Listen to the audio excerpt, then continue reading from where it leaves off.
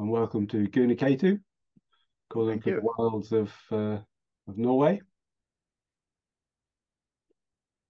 So I'd like to introduce I'd like to introduce Gunaketu and uh, what he's going to be talking about. So Gunaketu is- is going to be talking on mindfulness, empathy, contentment, and communication.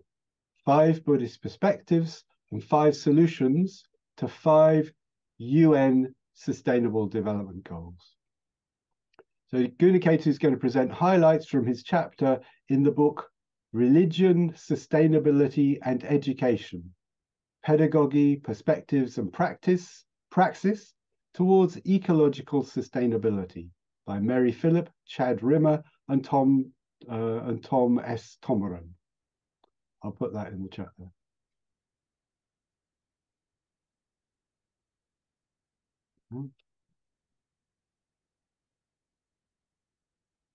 So, taking the five common ethical guidelines most Buddhists around the world share, he shows how these can be used to work on five of the UN Sustainable Development Goals. Here comes the book in the chat. So, number one, practice love to redu- reduce inequality. Number, um, sorry, which relates to um, this the 10th Sustainable Development Goal. Number two, not taking the not given by pursuing sustained, inclusive, and sustainable growth in happiness rather than economic growth, full and productive employment, and decent work for all. So, this is a modified eighth uh, Sustainable Development Goal. Number three, practicing contentment to ensure no poverty or hunger for anyone. This is Sustainable Development Goals number one and two and four. And number four, communication for partnership. UN Sustainable Development Goal number 17 point number 17. And then number five, mindfulness 3.0 for sustainable cities and communities. And that's UN uh, Sustainable Development Goal number 11. So basically, he's mapping the precepts onto the Sustainable Development Goals. So I was ordained with Gunaketu in 1996 uh, out in uh, in Spain. Uh, so, and I've uh, been friends with him uh, since around that time. So Gunaketu completed an MSc in business ethics in 1993 and went on to help build the Manchester Buddhist Centre, a small piece of the New Society promoted by Sangharakshita. He was ordained in 1996, as I said, and moved back to Oslo to start the Oslo Buddhist Center in 2000. In 2008, he completed training as a Gestalt therapist, psychotherapist, and in 2013 completed training as a supervisor to psychotherapists. In addition to chairing the Oslo Buddhist Center until 2022, running his private practice, helping start a business consultancy, and teaching at the Oslo Met University, he is engaged in activism in various ways. And he was telling me that he's now employed part time by the Buddhist Federation of Norway to promote sustainability amongst Buddhists in Norway and encourage young adults to apply Buddhist practice to their daily lives. And on a personal note, he lives with his daughter, partner, her daughter, and her friend in Oslo. So welcome, Gunaketu. Welcome from the wilds of Norway. Thank you very much.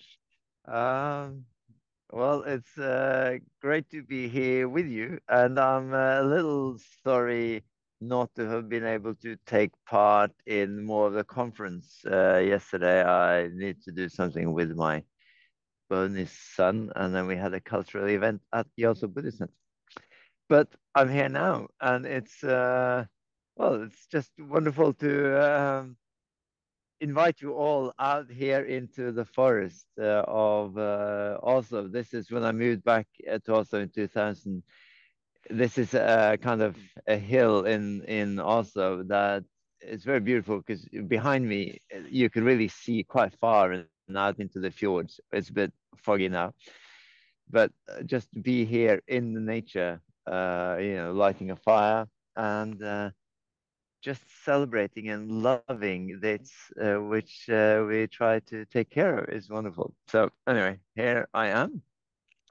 And uh, this particular story started in 2019 uh, 19, when uh, I helped organize and uh, participate in an interreligious climate pilgrimage uh, also was the cultural capital of Europe that year. And so we got some funding uh, to do this uh, with a Sikh and uh, two priests and me.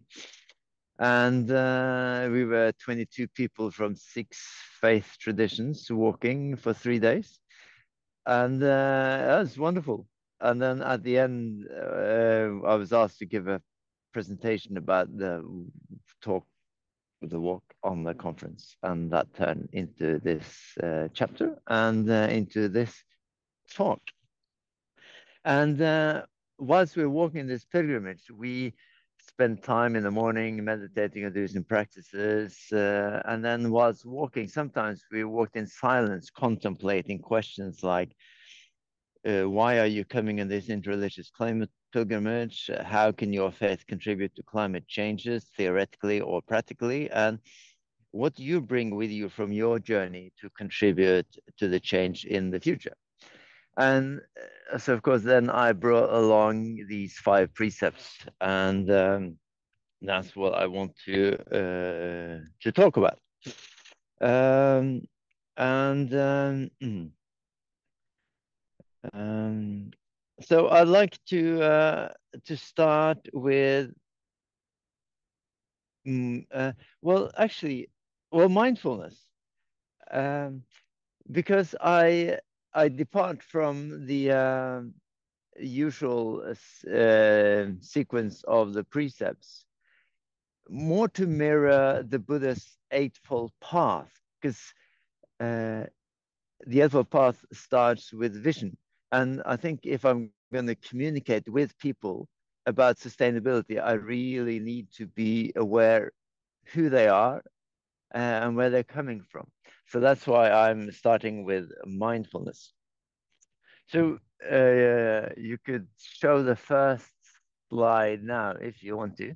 I just did bring along uh, a few slides. I wasn't quite sure. Uh, anyway, we had this wonderful tech host so uh, that might emerge on the screen. So um, with uh, mindfulness, uh, it's it's really a key, and of course that is shown in the Eightfold Path as the start. And it's mindfulness. We take the next slide. That I forgot that I had that as a little starter on my preference. So uh, of course, mindful of sickness, old age, and um, death. And we need to become mindful of the consequences of our affluent living. And we need to become mindful of the way we grow our food. And uh, as uh, Lokabandhu uh, was encouraging us in that uh, meditation that we just did to be also mindful of the effects of the um, well, of the way we're living in the world. And uh, I very much like what uh, Stephen Batchelor uh, says about this truth. He doesn't call it uh, the noble truth of suffering. And I agree, there's nothing noble about suffering. But he calls it the ennobling acknowledgement of suffering. And when we really acknowledge the suffering, it's a bit like uh, Lokabandhu was leading us into earlier, and as Shantigarbha was saying, well, he was a bit disturbed, and as uh, some other of you uh, others were mentioning as well. Um, well, we let ourselves be disturbed. That can be ennobling if you have a good perspective. And as I'm working, having this uh, part-time position at the Buddhist Federation, and I'm leaning more closely into the um, the consequences of uh, sustainability and uh, and also having a sense that uh, uh, the uh, young people these days are starting to become a little fed up about mindfulness because they, they have it so much. Uh, I, I, I really need to draw more deeply on my practices. I really need to go more deeply into uh, the Metta Bhavana and uh, the Tonglen, which I think, um, yeah. And very much like, and I, I believe you had a session yesterday uh, connecting with Joanna Macy, and I very much love what she says about you know embracing suffering, but also, of course, we need to embrace that suffering, uh, embracing the four uh, of the Buddha of old age, sickness, and death, and and the, the consequences of the um, environment. We need to embrace that with a view of the holy man or the um, uh, alternative, because this, of course, is what motivated uh, the Buddha to leave his home. And um, my first hook into Triratna was when Ratnaguna in uh, Manchester Buddhist Center in 91 or 92 was talking about the new society at, at the university. And uh, and last weekend we had this uh, small retreat at, here in Norway. Uh, uh, for there were mainly people there who were working with people who struggle, either activists or people who work with social housing or with cancer uh, as a cancer nurse, and we were all quite tired. And but it was so inspiring just to see after two days out in the wilderness, you know, amongst the trees. And, uh, you know, we just found the joy back together and having uh, faith in that, but also making sure that we do connect with our um, holy man, our, uh, our alternative perspective. And uh, as I mentioned, I, I make some of these uh, efforts to become sustainable. And for a long time in Oslo, I've been trying to encourage people to become more sustainable and to be engaged somehow. And uh, at times I get disheartened by the lack of response. And now I have to remind myself what Ratna Vandala put on the wall at the meditation retreat here in Norway a few years ago that our practice cannot be perfect. And without being discouraged by this, we should keep on practicing. This is the secret of practice.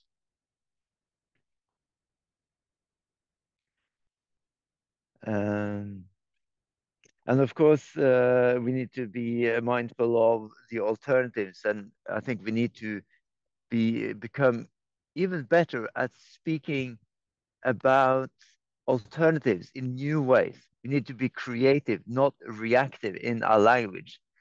Um, and I was speaking to a teacher at the one of the uh, sustainable universities here in Oslo, and he was saying their course on sustainability was not booked up, uh, or they had to not put it on because people didn't sign up.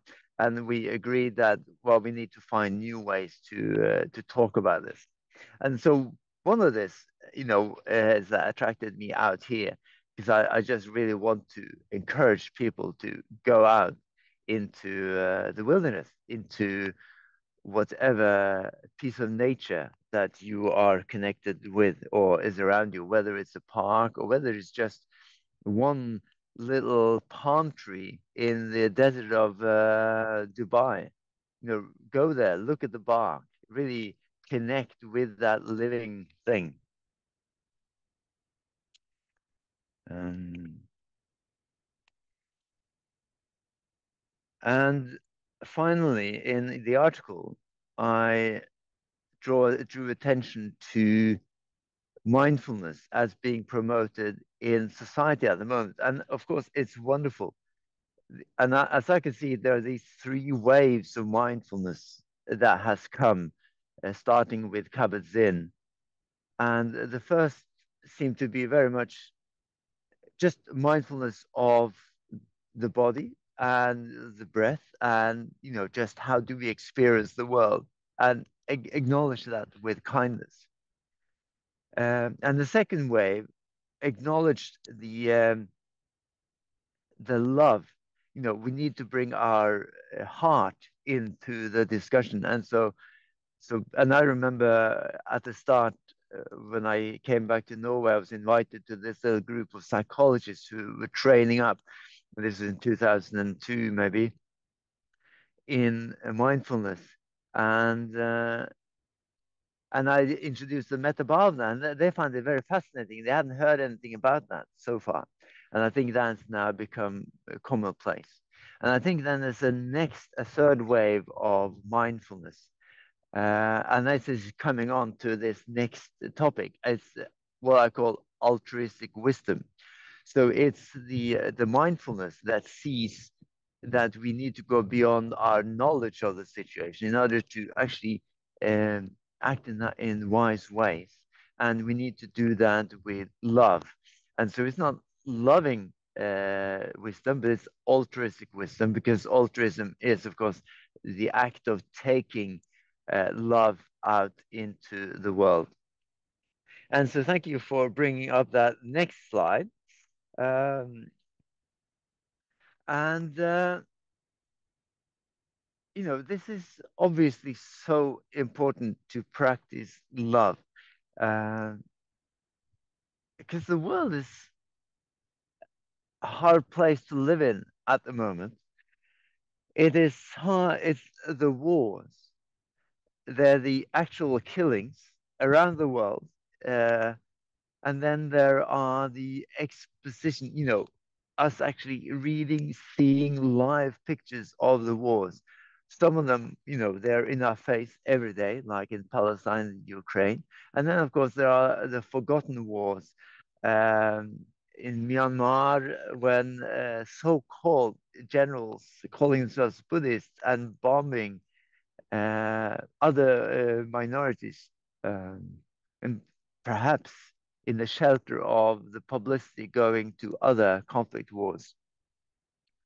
And uh, the climate uh, and seeing, you know, we've been really trying to generate momentum to get people to care about the environment, and then people start bombing each other, which is, as you all know, uh, uh, not that sustainable. And uh,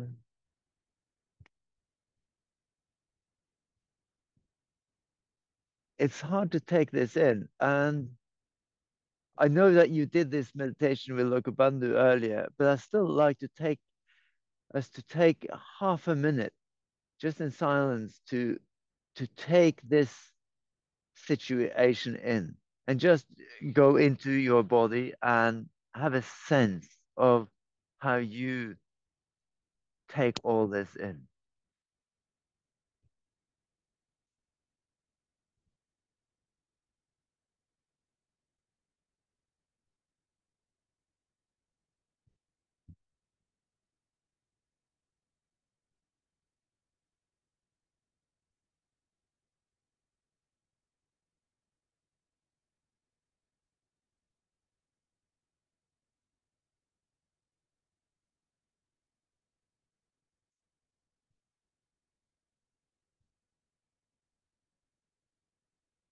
So when we uh, try to take this in or try to take some of this in, it is difficult. And it can be doubly or triply or quadruply difficult if it touches on some of our own personal traumas. And uh, the uh, very inspiring Buddhist teacher and activist uh, from India, Kritee, points out the disturbing statistics about traumas. She was drawing uh, statistics from the US, where one in three has witnessed domestic violence, one in four have alcoholic relatives. And if you combine those with some of the other traumatic uh, initiatives that people could be suffered, we could see that we are all in this web of traumatized relationships. Some of them are what she calls small traumas, others are really deep traumas. And those traumatic experiences and the potential traumatic uh, suffering that we bring with us from those experiences will make it that much harder to respond uh, lovingly and creatively to uh, the difficulties that we face. And so we really need to compost. I love this word to compost our traumatic experiences. Like I'm composting or have been composting the uh, acknowledgement that my father was a periodic drunk. And it wasn't until I was uh, maybe 21 that suddenly up at Windhorse uh, Foundation, I, I, I saw that what I thought had been a quite a rosy upbringing was marked by his alcohol abuse. Um, and so that, and sometimes we need help uh, with a, psychiatrist or something, or, or a therapist to work with these. But I think there are not enough therapists to go around, and we need to, as a way, shape up as a community to really to help each other to compost these experience. And I think we have the tools with the, with our metta bhavana, with our mindfulness of breathing, with our Tonglens, and even more importantly, in our sanghas, the way that we are really responding from the heart and set up kulas, these gatherings of people that, you know, in a sense, are wisdom cultures. So uh, the order members, they are organized in chapters, and we encourage people who train for ordination to meet in training for refuge group or going for refuge groups to really to work together to solve the difficulties and to to help each other to compost the traumas. Um, and I did have uh, when I came back to Norway, I was invited to a conference of women, uh, maybe in 2002. And this was a pre conference to a big conference in the Middle East and they were going to gather the women uh, to try to broker, to bring other perspectives to the peace process. And at the pre-conference, uh, there were maybe 150 uh, women from from all over the world gathered. And uh, I, I don't know exactly how I managed to become invited as an observer. And as I sat there and they started the meeting, and uh, a few people hadn't arrived yet from Palestine because they were held up in customs and and the meeting started and there were these three really formidable women sharing the event. And um, at some point these uh, small delegates from palestine came and you know they'd finally gone through and as, as they were sitting down one of them is excusing itself saying ah oh, because we were held up and you know my my cousin was just shot the other the other day and as soon as she says that a, Israeli woman stands up at the other part of the room and says, Yes, and my uncle was killed only two weeks ago. And then they started firing at each other, and the whole uh, meeting was kind of derailed. And these three women, they just had to call a break in order to just, okay, we need to calm the situation. And it was such an important uh, acknowledgement that because this is my interpretation, of course, I didn't speak to the women, but uh, that at least these two women hadn't really composted their their own traumas sufficiently to be able to participate in that meeting. Uh, and as I said, yeah, this is, of course, both inner and outer work. It's inner work on our meditation, our various practices, and it's outer work to help uh, work um, with these relations that I think we are very good on on the whole in Triratna.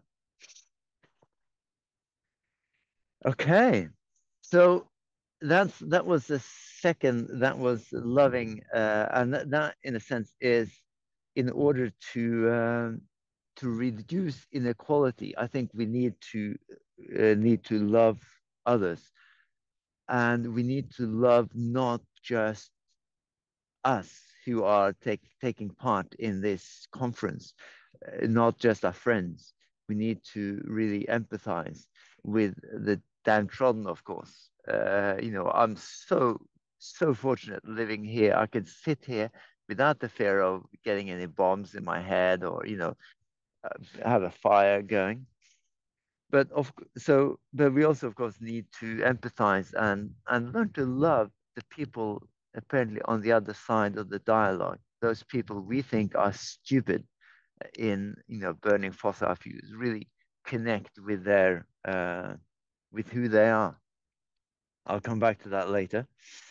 So uh, on the third, uh, or next slide is um, the uh, United Nations Sustainable Development Goal of eight. It's pursuing sustained, inclusive, and sustainable growth in economic growth. Can you imagine that the UN is actually supporting sustainable growth, economic growth? At least from Norway, that seems ridiculous. And I think we need to take account uh, first that you know some people are really poor and they need to develop economically. That is true, but you know for the West we cannot pursue economic growth. So I re uh, form or, or rewrite it to sustain, uh, pursuing sustained inclusion, sustained growth in happiness and full and practice uh, involvement and decent work for all. The UN haven't decided to to change this yet. Uh, hopefully, they are working on it, but uh, we'll see. Um, so now I'd like you to take a little exercise. Uh, if you can, if you're at the desk, you have something to write on and write with, get that. Otherwise, you have to do this uh, mentally. And um, I'd like you to think about what makes you happy. So just now, write a list, you know, uh, going out, writing bon making bonfires, that makes me happy. So you now write a little list. You have half a minute to make as many points that you uh, that you are uh, that make you happy.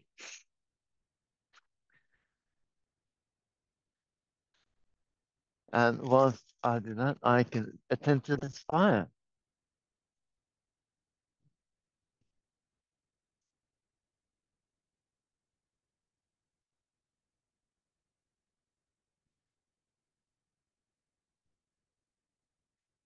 Okay, so uh, now I'd like to you to look at that list mentally or paper. Think which of those values or things that make you happy are in accordance with your values. So, for example, you know, this is now I am uh, actually really appreciating me loving nature and I'm sharing it with others. So that's how this is now in terms with my values. And now I'd like you to, to really to take half a minute again, really contemplating that one or one of those things that makes you happy and that contributes to your values. And try to feel in, remember when you have been doing it and just try to to feel in how that made you feel and and notice how that makes you feel now.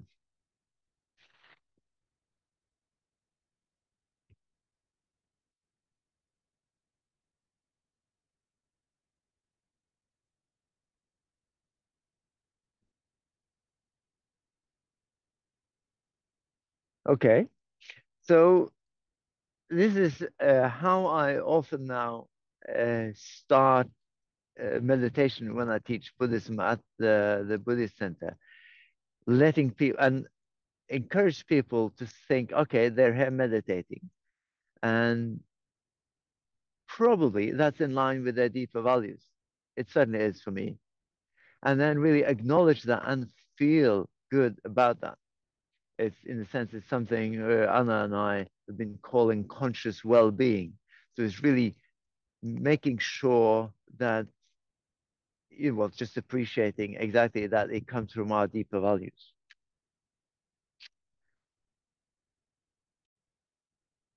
So, and then finally on this topic of uh, uh, economic or you know uh, growth in well-being, one of the reasons I think uh, we've taken in the um, uh, the economic growth is because the idea of degrowth is terrifying.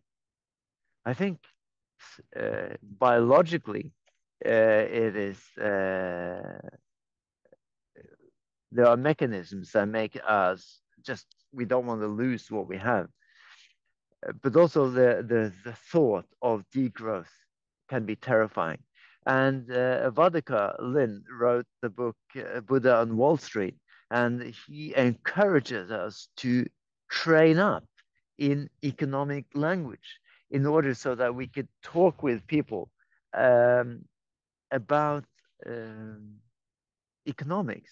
And we can allay people's fear that if we're living more simply that we the, the economy won't just collapse so yes and then uh, in order to be able to uh, reduce our economic footprints, we need, at least in the West, to live more simply. At least most of us. Of course, there are some people who really struggle to survive, and of course, I don't mean them. But even people like myself who live quite simply, you know, you know, I think I need to really work on simplifying a bit more. And that is a training. So that goes on to my fourth point. And uh, uh, this is getting really nice and warm here now. Uh, I wish you could have shared that with me. Um, so the fourth point of stillness, simplicity, and contentment um, speaks into uh, the uh, the first two uh, developmental goals of no poverty and no hunger for anyone. And um,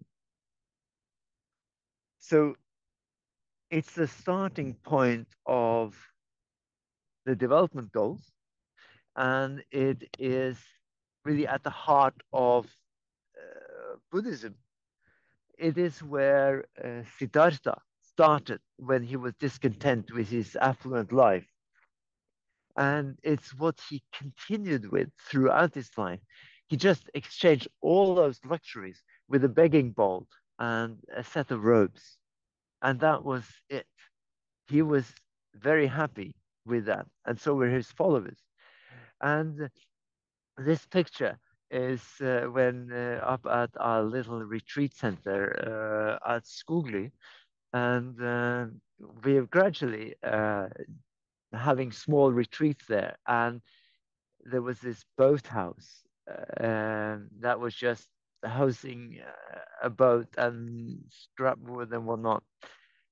And we were always struggling to get more beds because we had maybe five beds and we could maybe borrow a neighboring hut or something. So then we decided to uh, pull down the old boathouse and replace it. So a couple of years ago, we did that.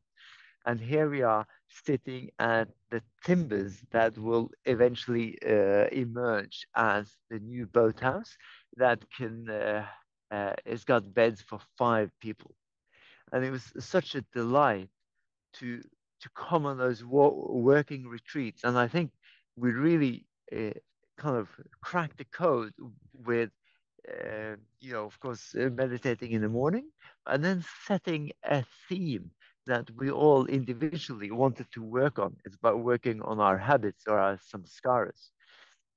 And then just getting stuck into the work. And we had very varied skills. And I, of course, know this from building the Manchester Buddhist Center. But here it was beautiful because there was no time pressure and people could really go in where they were comfortable. Some people barely knew how to use a hammer.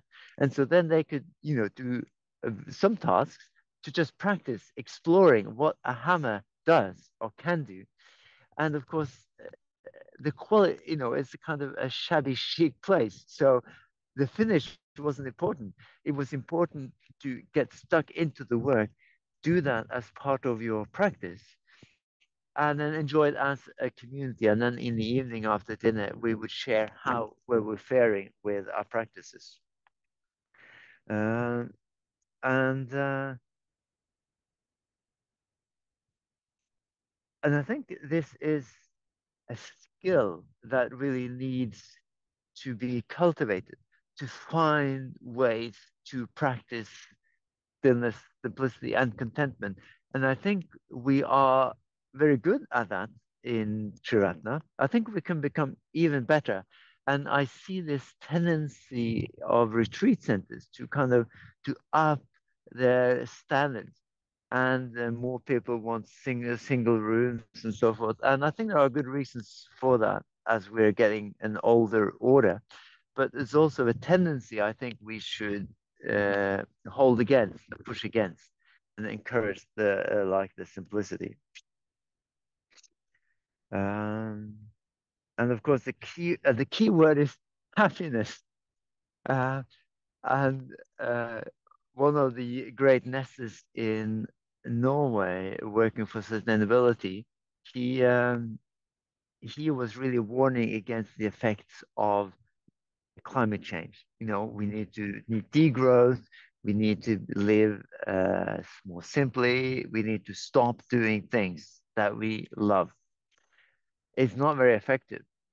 I think is much more effective, and his successor, uh, Ran, uh, is I think. Um, very much focused on the need to uh, explore happiness and find and express and become happy in what we're doing. I think this is why it's so important for us who are working in the field of sustainable that we work in sustainable ways so we don't get burned out, so that people can see how we do, how we've done it for 10 or 20 years, and how we seem happy from it.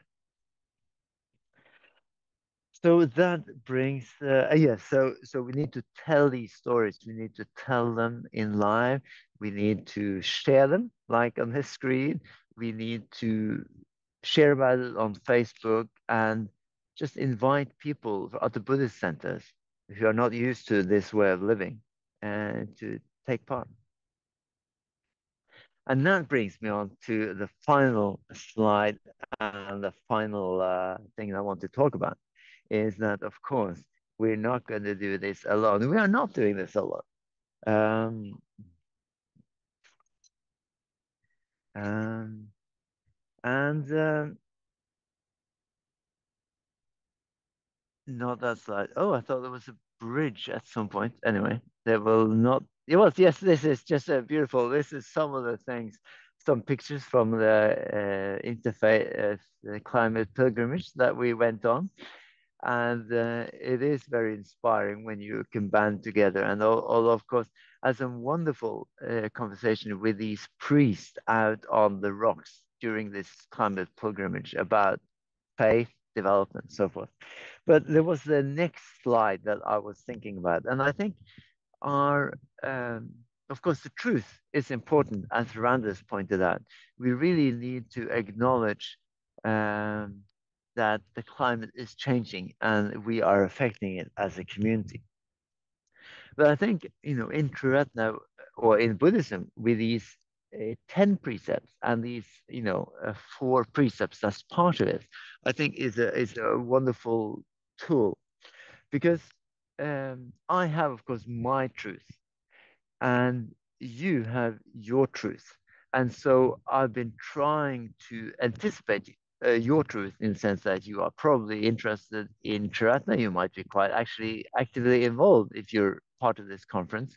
If you're listening to this recording and afterwards, you might at least be interested in what a Buddhist might have to say about sustainability. So that's your truth. and and this influence uh, our communication or the way I talk. But it also might be that you are working for Exxon and you are, you know, working up ways to um, to argue against activists. Um, and so you might be interested to see, well, how how how do we activists talk? So that might be your truth. And uh, I I'd like, I haven't been born that much in thought, but I'd like to bear that in mind. If I was giving a conference to Exxon or some uh, or the Norwegian government who is still, you know, pumping up more oil, you know, I would talk in different ways. So the principle I'm trying to illustrate with this bridge is really acknowledging that I have my truth and you have your truth. And now we're going to try to communicate. And in order to interest you in that, I might really bring out why this might be useful for you. So that's one building block, as it were, in our bridge. And from my side, if I can try to be friendly, that usually helps. That's at least what the Buddha claimed, and it goes to my experience. And then as the kind of the top piece, you have the harmonizing. In a sense, it's a it's an ideal, it's a principle. So although I try to hold on to truth, both your truth and my truth, and try to synchronize, you know, see if these match somehow, I try to be friendly and useful. I, at least I try to think of keeping uh, the dialogue going ongoingly. So there is a harmonizing quality. Sometimes uh, that comes to the background. So I'm at times I might really confront something. You know, I might, uh, as we did uh, a, a, few years ago, we we had these sit-in demonstrations in shopping malls. You know, we're going to have that on Thursday. Actually, we call it White Thursday, as opposed to Black Friday, and uh, we are going to be thrown out probably. And so, but then, and so then we are not harmonizing because the security guards they might be fed up with us or something. So we're not in harmonizing with them. And at times um, that is a, is a is a consequence of trying to bring out truth. But that's the exception. I think on the whole we need to uh, to have all these elements like truthfulness friendliness usefulness and harmonizing speech so that uh, brings us a bit uh, back to the uh, the start of mindfulness. You know, what is true, uh, and actually being sensitive to uh, both our intellectual truth, what we see with our senses, you know, how we feel in our heart, and uh, what we feel about the connection, the relationship with others. So, um, yes, and, uh, and we, as we've seen, the mindfulness is popular, and uh, that is great. And we need, we need as a as a Buddhist community, need to give that mindfulness feel depth and um, altruism, wisdom. Uh, and of course, uh, this to the extent that we do this and, and I see my work as an activist mainly in supporting other activists who are much better out there in doing protests or writing letters or something, but I can help them to find peace and calm and to make their own activism sustainable. Um, so yes, that was mindfulness, and we saw that love is important to reduce inequality and to actually hold both ourselves, those who suffer, and adversaries in our hearts somehow. Uh, I said I was not happy with the uh, development goal eight, and I wanted to change that to pursuing sustained, inclusive, and sustainable happiness rather than economic growth and full and productive employment. And we saw that uh, contentment is often a dirty word for non-Buddhists, and we need to make it into a part of our living wisdom cultures. And finally, we acknowledge the need to communicate in a way, and I think our four speech precepts are a good way to do that. So anyway, so those are things that I want to share with you now, and I'm very keen to hear if you have any questions or comments.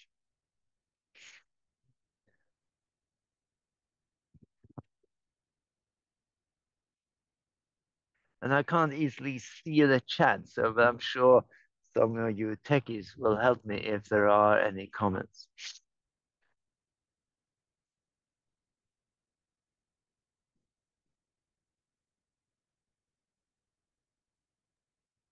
So um, yeah, if you'd like to write comments in the chat or if you'd like to raise your hand to speak.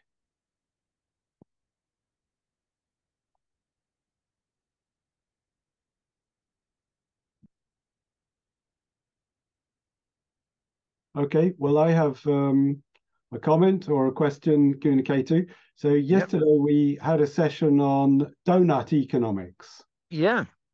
Um, now I've I've heard of that before, but um, it was the first time I'd really had a chance to think think it through and and discuss it with other people.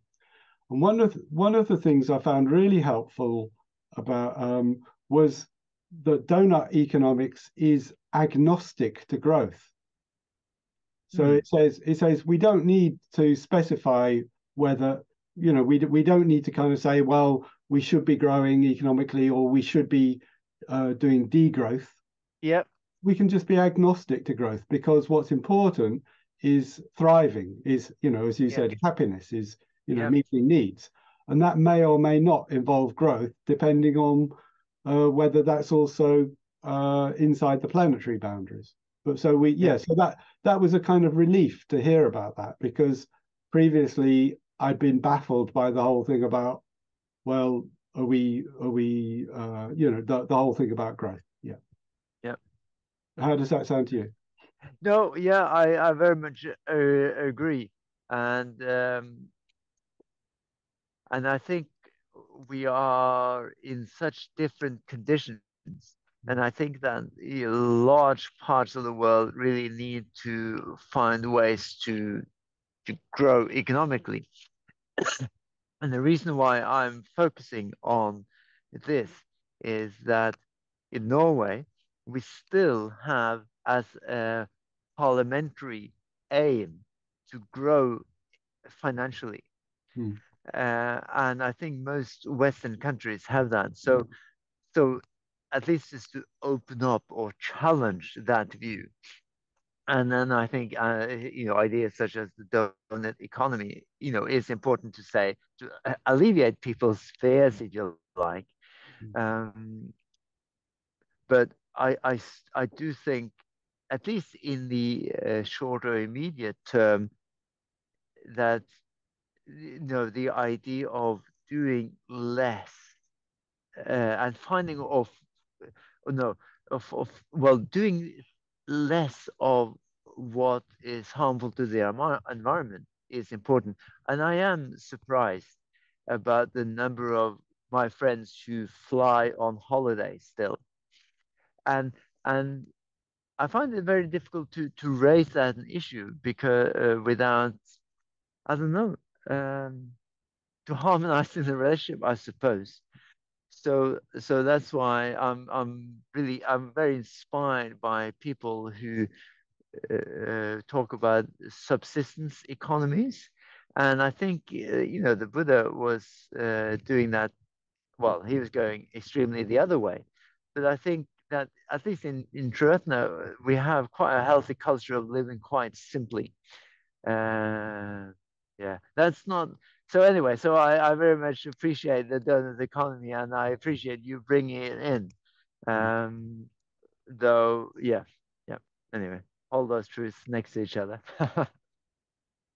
so there's a comment from in the chat saying thank you for the inspiring talk. Thank you. Any thank you. anybody else want to speak? If you raise your hand, if you want, want to speak to a, a question or a comment or reflection or in the chat, please. If you're feeling a bit shy.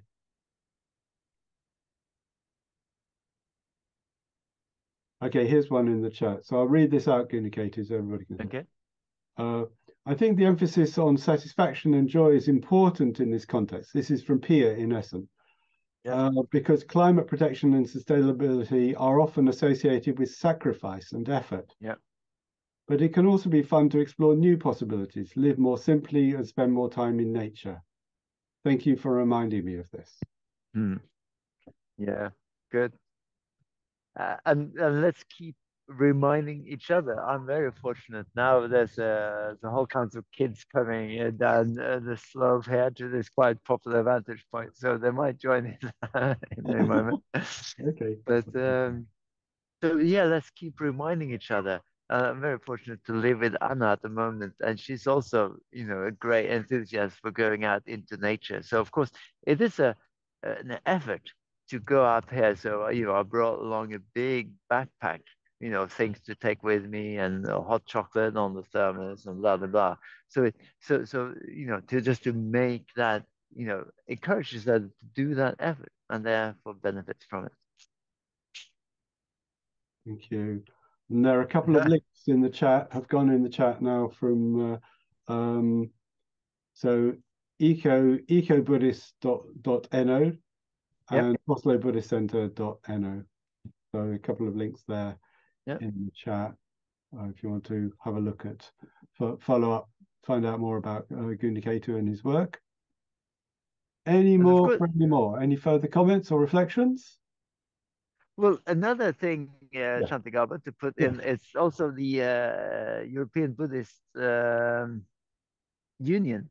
You know, they've also uh, got um, Eco Dharma group, and there's a they have the uh, a podcast called uh, Europe Buddha, European Buddha, uh, Europe Buddha or something. Mm-hmm. Uh, and uh, on I think on one of the last episodes, I also talked a bit about sustainability, and uh, and so so that's another of these partners to communicate with, you know, other Buddhists in uh, in uh, Europe. Okay, I'll put that link in. Mm.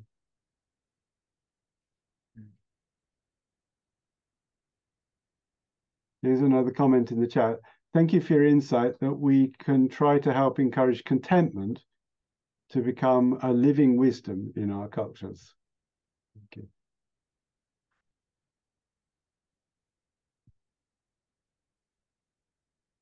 Any more for any more? Any further questions or comments to communicate to while, while we've got him?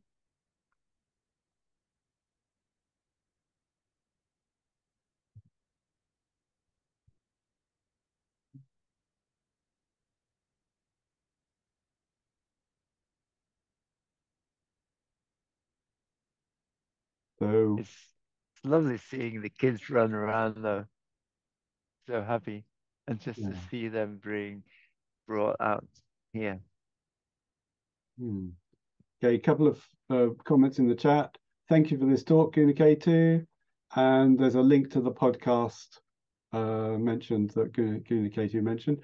Um, yeah, Gunaketu, I just want to mention thank you for. I know you were on the uh, European Chairs Assembly for many years as chair as chair of the Oslo Buddhist Center, yeah. and I imagine that you were co-responsible for establishing uh, one of the strategic priorities of the of the ECA the European Chairs Assembly of uh, dharmic engagement with social and ecological issues. I imagine that were you very involved in that because yeah. Mandate actually comes from that from that priority from that strategic priority.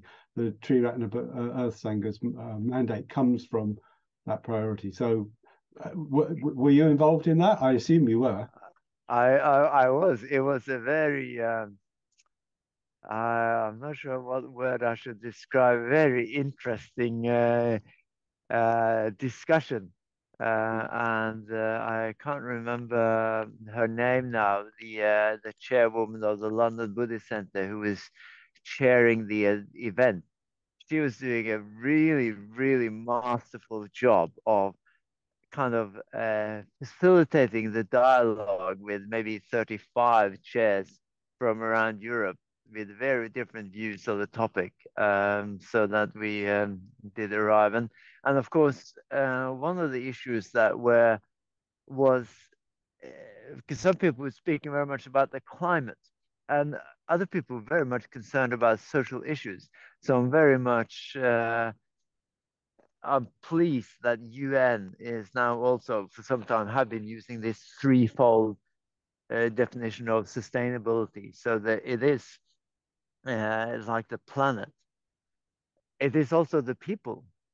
And there's also prosperity, as you were saying, with the donut economy. So all those strands need to be woven together to really make it sustainable. And so, so it's really when we, we, we really acknowledge that, yes, of course, it's going to be sustainable, both for our brothers and sisters in India to, to actually have more prosperity and have decent work, uh, as well as uh, kind of, well, saving the planet for human habitat and, you know, prevent extinction of so many species. Mm. Thank you. Thank you. Yeah, so so this is in our publicity, but just just to remind people that this conference is hosted by the Buddhist Center Online in fulfillment of the European Chairs Assembly's strategic priority of dharmic engagement with social and ecological issues. Yeah. And like cheering us up, cheering us up and cheering it on. And yeah, just uh, I think it was last year as one of the last things I did as a member of the International Council was establishing the same strategic priority for the International Council. So there's a congruence between the European Chairs Assembly and the International Council. So I'm very happy that we're on those priorities, and that that that will think that will mean uh, different things, you know, coming up in the in the future that might mean the possibility of funding. Certainly means we have access to the Buddhist Center online and other central uh, institutions in uh, in Triratna. So that's a really important uh, sort of building block of you know of um, for this for this kind of thing to happen. Sadhu for uh, contributing and making that happen. You're welcome. You're welcome. It's been a pleasure. Okay, and there's another comment in the chat. Thank you for mentioning the importance of being happy while doing something for nature and the climate. Okay, and we're coming up to closing. So yes, um, there's a, a Dana link in the chat. So if you'd like to support us to continue offering this work in Tree Triratna, both the Buddhist Center Online and also Tree Triratna Earth Sangha, please uh, feel free to uh, contribute. Um, we know that some of you have already contributed uh, to the extent that you're happy to at the moment. So thank you very much. We're very grateful for your support. And of course, of course, you could come and visit us in Norway. We have a Buddha Fjord festival at the beginning of June. So, you know, join us. Oh, there's an offer. oh, okay, we'll have a tree Triratna Sangha event in Norway. yeah. okay. All right. Well, thank you very much, Gunaketu. So can we give Gunaketu a round of applause or a virtual shout hand wave? Thank you very much.